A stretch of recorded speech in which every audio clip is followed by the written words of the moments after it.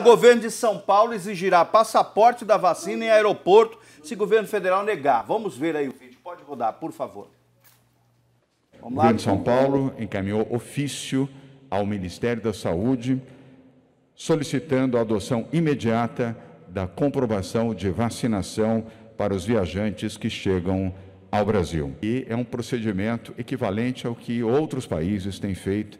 Esta é a forma correta de agir, de prevenir, e isso é um procedimento que poderá ser adotado aqui em São Paulo, sim, caso nós não tenhamos uma reversão da posição do governo federal. Uh, e o prazo limite é o próximo dia 15 de dezembro. Se até 15 de dezembro o governo federal não adotar o passaporte vacinal, São Paulo vai adotar.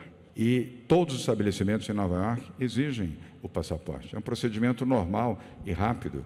Você tem no seu celular, ah, é um procedimento que leva poucos segundos e ninguém se incomoda com isso, porque as pessoas entendem que a proteção à vida é mais importante do que qualquer outro sentimento. Ah, 30 segundos para cada um para comentar isso aí que nós precisamos, estamos devendo um intervalo. O, o Paulo Cavalcante. Mais uma vez o Dória com esse negócio de, de né, outra vez ele falou lá em Dubai, né? Só que ele falou lá no meio do, do de uma roça, coitado. Quem que já teve aqui em Dubai? Lá no sertão, o pessoal deu risada até, né? Eles não sabiam, sabia, não sabiam se estava falando de Dubai ou se estava falando de Adubar, alguma coisa. Agora ele me fala de Nova York, que ninguém que ninguém vai é, é, é, é, fica, fica ofendido. Você mora em Nova York, deve ir muito em Nova York. Claro, ninguém é muita gente, tem muita gente que não concorda. É, é, é, é um hipócrita, né? É um hipócrita. eu, eu acho assim: existe um governo federal, existe um Supremo, nós temos que tomar decisões, essas decisões têm que ser respeitadas. Porém, esse negócio de limitar a, a ir e vir, isso é contra a Constituição, sabe? Não tem nada comprovado ainda são, são, é, é, é, é, uma cantilena, essa é a grande verdade, é uma cantilena, é uma converseira em cima de um vazio que não leva a lugar nenhum. Moisés Cruz vai se preparar para falar enquanto o Josinélio fala. Rapaz, o, o, interessante é a posição aqui do Samuel, que é, é o até respeito, né? Mas se a gente levar em consideração a Flórida, e aí ela agindo totalmente diferente. Pessoal, nós já estamos há dois anos nisso. Pelo amor de Deus, cara. Não, não, não é uma coisa que chegou agora. Todas as vezes que mete lockdown na cidade, no estado, Rondônia, quanto, quando mais aumentou nossos casos de infectado em Rondônia foi no lockdown. Pelo amor de Deus, está na cara já, quando fecha. A aglomeração que o Samuel foi, eu sou contra a festa. Agora, eu aqui, eu nunca falei contra, o Samuel fala contra. Eu não.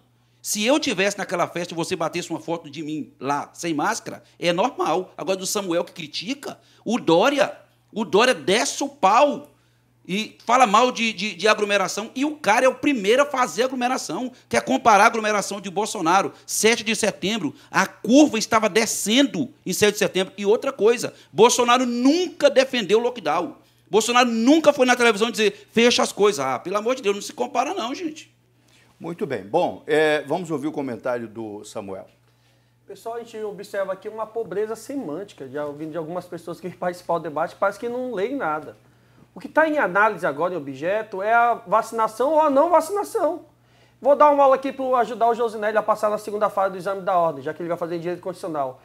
No caput do artigo 5 da Constituição de 88, nessa ordem cronológica, é colocado lá, sabe em que em primeiro lugar? A vida. A vida das pessoas tem que ser pautada em primeiro lugar. E durante a pandemia faz-se necessário tomar vacina. Então, se você ama o seu próximo, independentemente de ser agnóstico, ateu, etc., tome sua vacina. Depois vem a liberdade. Subsidiariamente, meus irmãos, sabe o que, que vem? Vem a segurança e por, e, por seguinte, outros pressupostos. Então, não existe liberdade sem defender a vida. E se você ama o seu próximo, quer que a economia volte ao normal, Tome a vacina, porque só através da vacina a gente vai conseguir minimizar esse transtorno da pandemia do Covid. Zezinho, por favor. Primeiro, quero parabenizar a Chico Holanda, que bolsonarista raiz, mas fez hoje um comentário defendendo a vida e as vacinas. Parabéns, Chico. Isso é um posicionamento de que tem a liberdade e quem defende a vida. É isso mesmo. Mas vamos lá. É, olha, Dória, ele foi perfeito. Se o governo federal não tiver é, nenhum, alguma atitude, ficar na inércia, não defender o passaporte da vacina, que todas essas falas, Edivaldo, vão ser gravadas. Ano que vem, esse bando, bando não, que é falta de respeito, eu quero pedir desculpa, essa loucura desenfreada que a gente está vendo aí desses extremistas da direita vão cair por terra, a máscara vai cair, eu quero ver qual o discurso deles ano que vem. Ok. Quero mandar um abraço ao doutor Joacir Loura Júnior, está assistindo o programa, e diz assim, depois de algum tempo sem ver o programa, hoje na audiência dos amigos. Meu amigo, os países sérios do mundo estão exigindo passaporte da vacina, porque o Brasil tem que ser diferente, para ficar um espaço livre para os turistas do mundo inteiro infectar o nosso povo. E a Anvisa já sugeriu que seja co é, cobrado o passaporte da vacina e o governo federal nada. Moisés, por favor. A, a Constituição, no seu artigo 60, no parágrafo 4 é, ela diz que a liberdade individual é uma causa pétrea. Sabe o que é causa pétrea? Aí você que está do outro lado, meu ouvinte. É aquilo que é difícil, não pode ser modificado. Pode até ser mudado para melhor e não para pior. Então a liberdade está prevista na Constituição. Nós temos um doutor aqui do lado, que é o, o, o Samuel, ele sabe do que eu estou falando.